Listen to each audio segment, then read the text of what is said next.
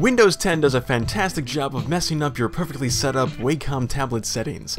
Nothing triggers me more than when I lose pressure sensitivity on my tablet for absolutely no reason. Well, maybe besides my Wi-Fi going out, but anyway.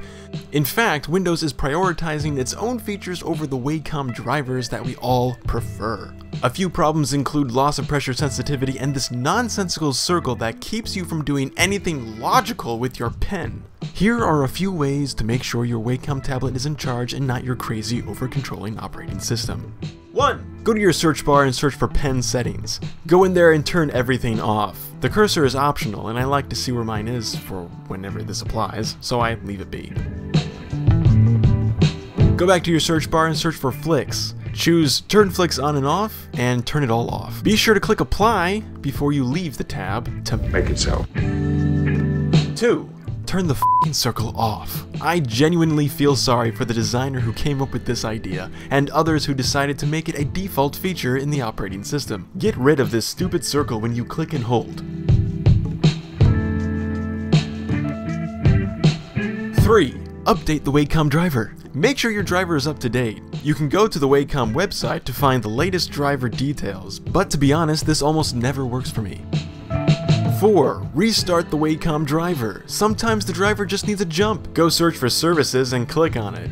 Find the driver named Wacom Professional Service and double click it, or right click and go to Properties.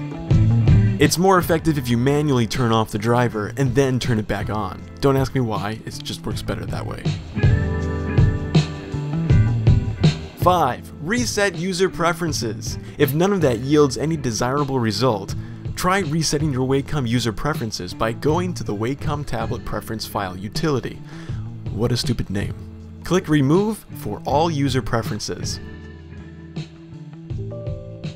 It'll do its thing, and... Finally!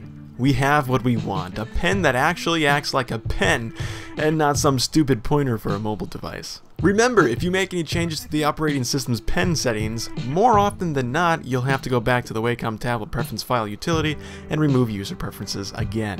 This seems to be the most effective fix for me, personally.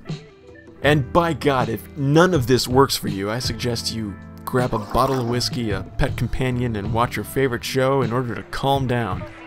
You can even approach the problem tomorrow when you're less pissed at the world. More resources can be found in the description. Thanks for watching, I really do hope this has been helpful. Good luck.